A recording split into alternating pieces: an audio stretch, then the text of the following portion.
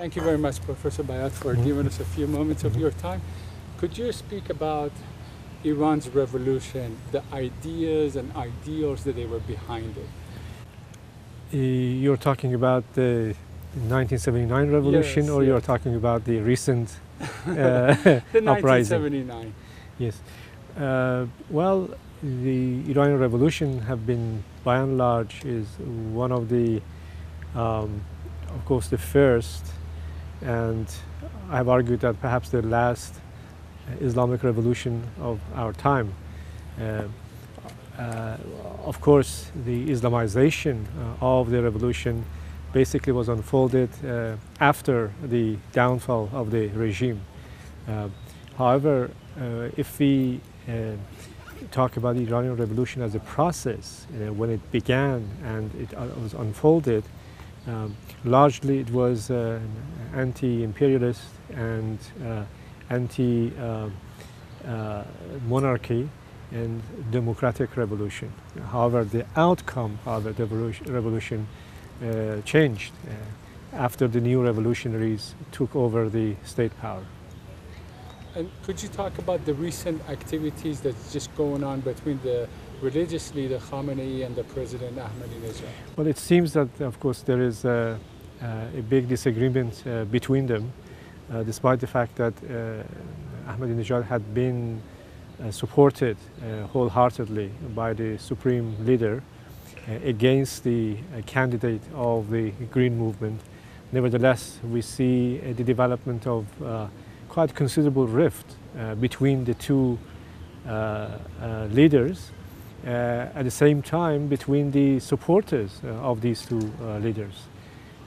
Certainly it has significant implication for the perhaps stability of the regime itself. But we have to be very um, uh, mindful of the fact that uh, rift in the, at the elite, at the top level, has almost always existed uh, since the revolution and they have managed to somewhat resolve when they have encountered uh, opposition uh, from below. We don't know what will really be the uh, outcome of this uh, rift and differences. Uh, we have to see what happens. Do you think this is a sign of Iranian governments going post-Islamic govern- government? Yes. Well, I think the notion of uh, uh, post-Islamism uh, as a vision uh, largely, uh, I think, emerged in the mid-1990s uh, when it was somewhat um, it manifested itself in the so-called new reform movement. And it was uh, also reflected itself in certain policies of uh, the reform government uh, under President uh, Mohammad Khatami. Um, if it had remained uh, and had succeeded, you know, in, in power by trying to transform and change the more theocratic um, manifestation, kind of characteristic of the regime, and had, if it had empowered the uh, social movements from below for a democratic change, then we would have say that uh, you know the government has moved towards uh, post-Islamism.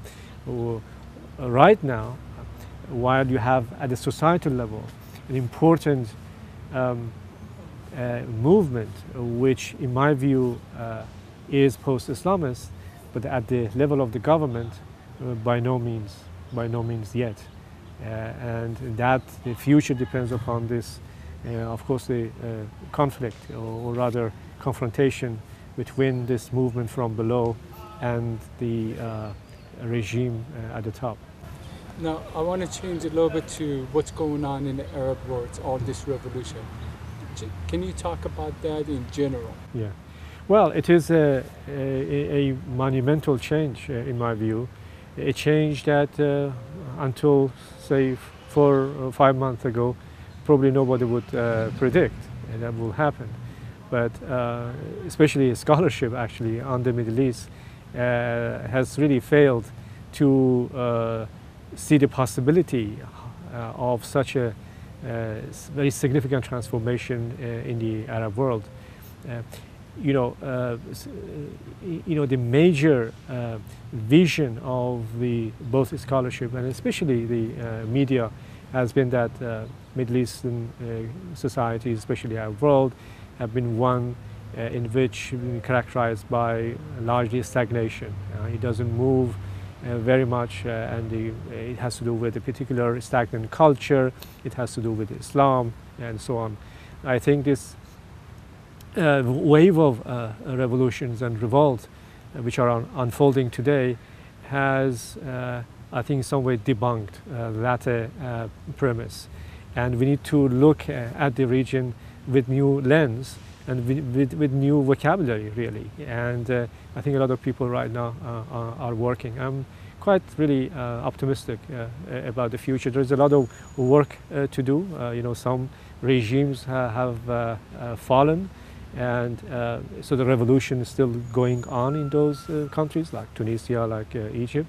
In others, they are going on. In some countries, like in Yemen or Bahrain, there is resistance on the part of the uh, ruling uh, elites.